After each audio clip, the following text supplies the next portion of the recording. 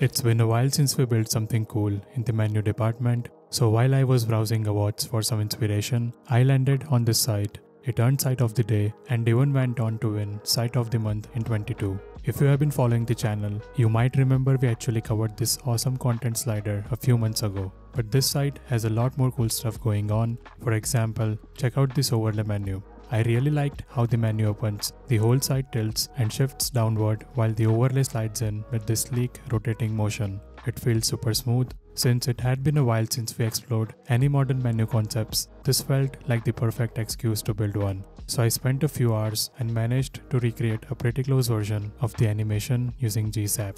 You can see it has all those animations. When the menu opens, the content gets pushed down and the overlay glides in with that subtle rotational motion. I also added all the micro animations inspired by the original site, like the animated underline on hover and the way the preview images change when you move your mouse over the links. When you close the menu, everything transitions back out with the same kind of tilt and motion. The layout is fully responsive too. On smaller screens, I've hidden the image previews since over effects aren't needed on mobile, but of course, you can tweak that if you want to keep the image visible.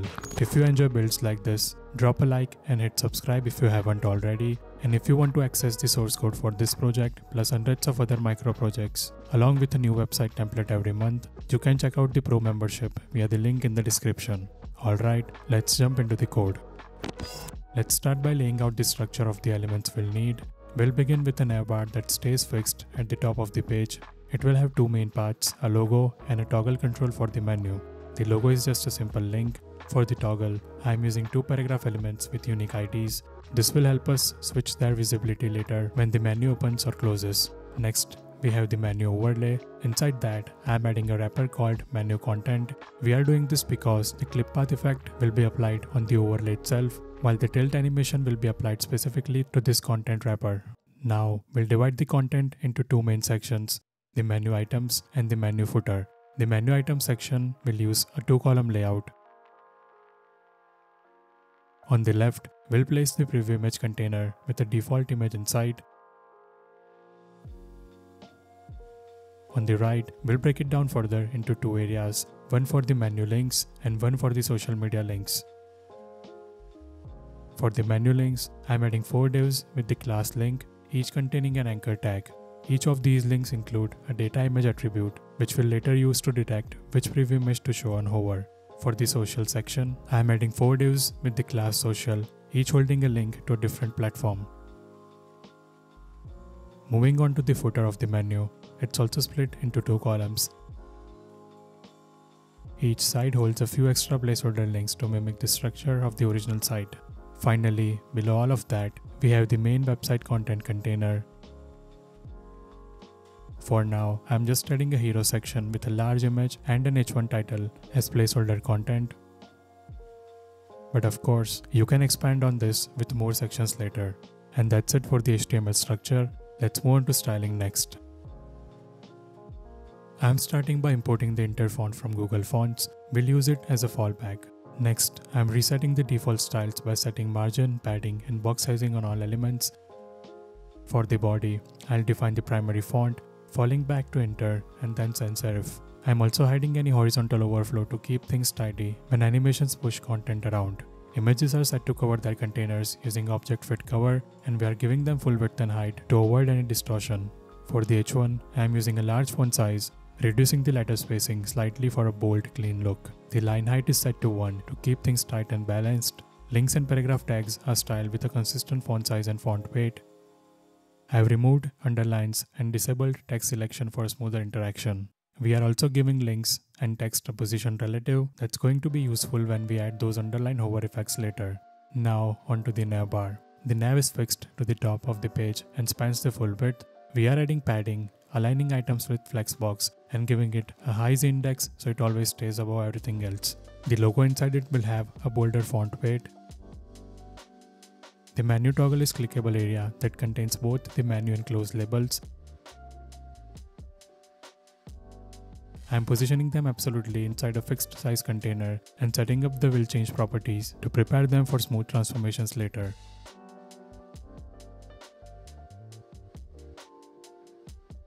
Moving down to the overlay itself, Menu overlay is fixed to fill the entire screen with a dark background and a Z index below the navbar.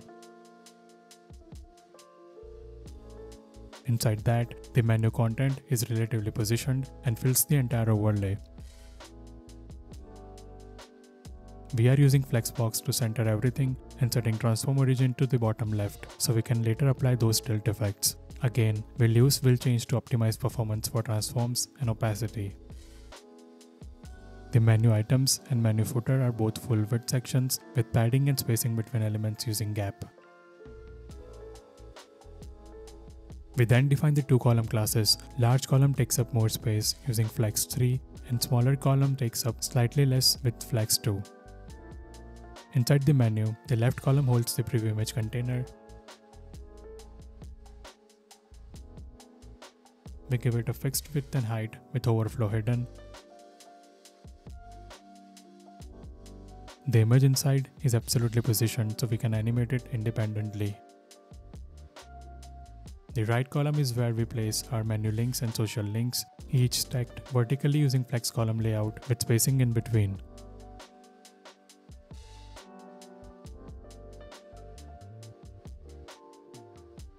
Each link and social is padded slightly and styled with a simple clip path, setting us up for reveal effects. The actual anchor tags inside them are given will change and a smooth color transition. Menu links are styled with a large font size and tight letter spacing, while social links use a muted color. On hover, the color changes to white for contrast. Now for the footer, it's absolutely positioned at the bottom of the overlay. The right column in the footer arranges the links using justify content space between Then we add a really nice animated underline effect using after pseudo elements on all anchor tags. The underline is hidden by default with transform scale x 0 and appears on hover using a smooth cubic Bezier transition.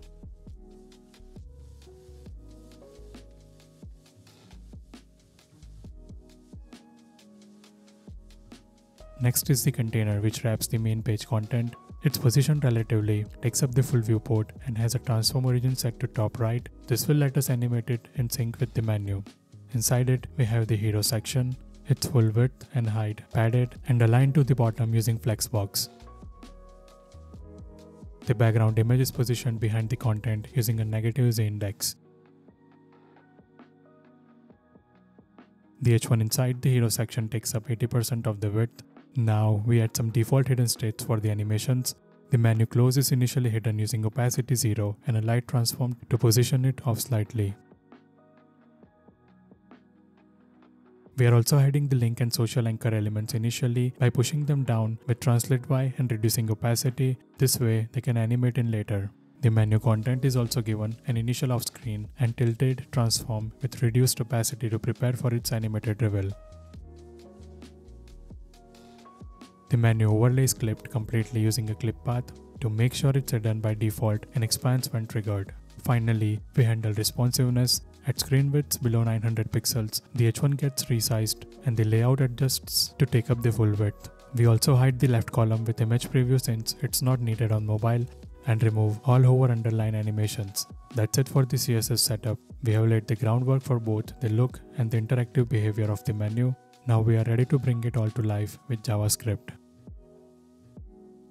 We start by importing GSAP at the top. Once the DOM is fully loaded, we grab all the key elements we'll be working with, the site container, menu toggle, overlay, content wrapper, preview image container, and all the menu links.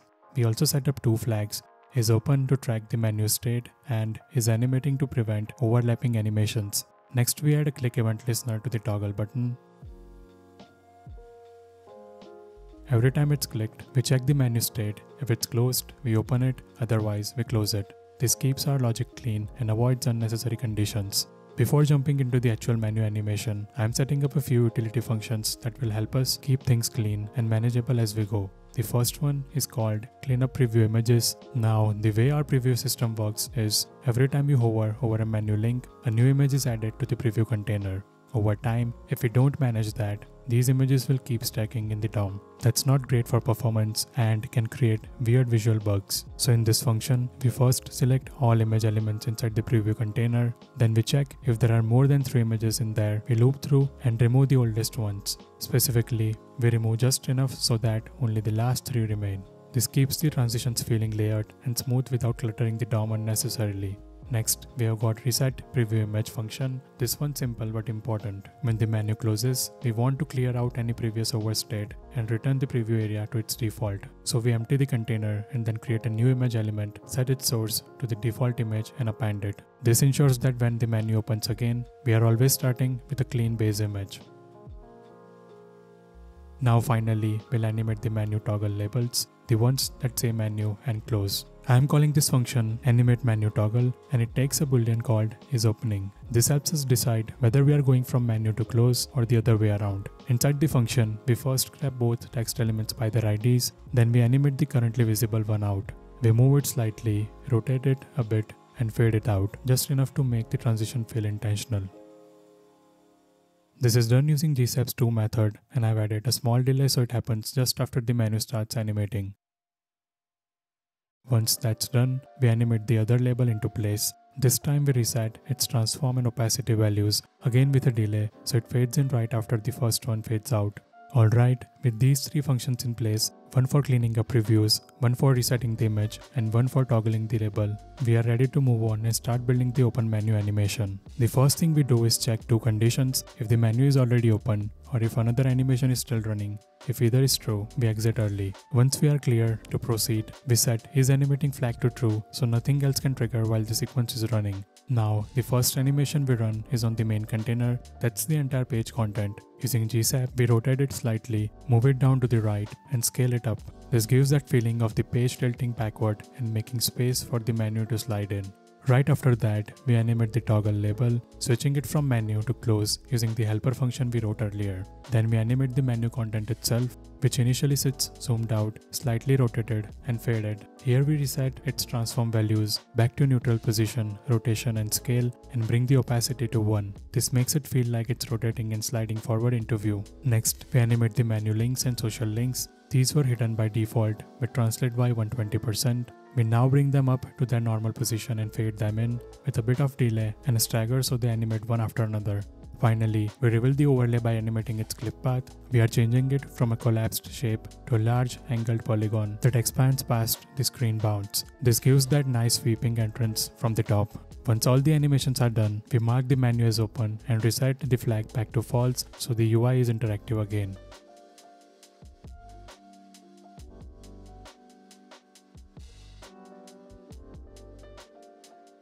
Now let's handle the closing. The close menu function works almost identically, just in reverse. Again, we check if an animation is already running, or if the menu is already closed, and return early if that's the case. We set the flag to true again to lock the UI while the menu closes. Then we animate the container back to its original state, rotation to 0, no offset, and scale back to 1.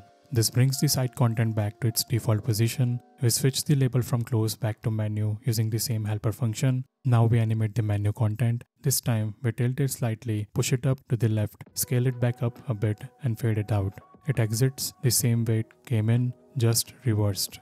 Then we collapse the overlay using clip path, bringing it back to a completely hidden shape at the top. And once that's done, we reset the menu state, we mark it as closed, unlock animations, and hide the links again using GSAP's set method and call reset preview image function to bring the preview container back to its default image. That's our full menu open and close logic. Up next, we'll set up the hover interaction for the image previews. We start by looping over each menu link using for each method and for every link we add a mouse over event listener. Inside that, the first thing we do is check if the menu is currently open and if an animation isn't already running. If either of those checks fails, we just return that keeps the hover interaction from triggering during transitions or while the menu is still closed. Then we grab the image path from the link's data image attribute. We also add a small optimization here. We check if the image is being hovered is already the one that's currently visible. To do that, we grab all the image inside the preview container and compare the source of the last image to the one we are trying to show. If it matches, we don't do anything. This avoids reanimating the same image unnecessarily. Now, if we have made it past those checks, we create a new image element, set its source to the one from data image attribute, and apply a bit initial styling. We set the opacity to 0, scale it up slightly, and rotate it just a bit so it animates with a nice pop.